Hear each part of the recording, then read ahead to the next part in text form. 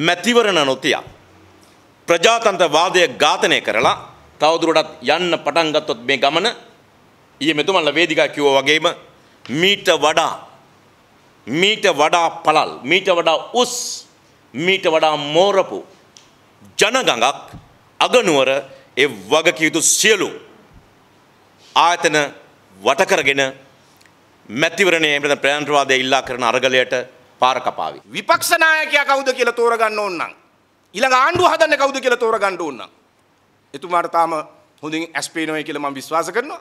කරුණාකරලා කරු ජයසූරිය මැතිතුමනි ඇස් ඇරලා බලන්න ඇත්ත විපක්ෂයේ ඇත්ත විපක්ෂ බලවේගය මොකද්ද?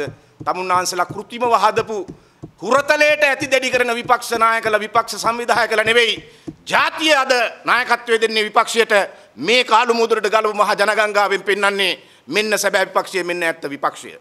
තව මොනවද කරන්න පුළුවන් අභියෝග ඒකත් කරන්න අපි ලෑස්තියි කියලා. ඒ නිසා අපි කියන්නේ කරුණා කළා පළාත් පාලන මැතිවරණේ තියුණු පළාත් පාලන මැතිවරණේ තියුණු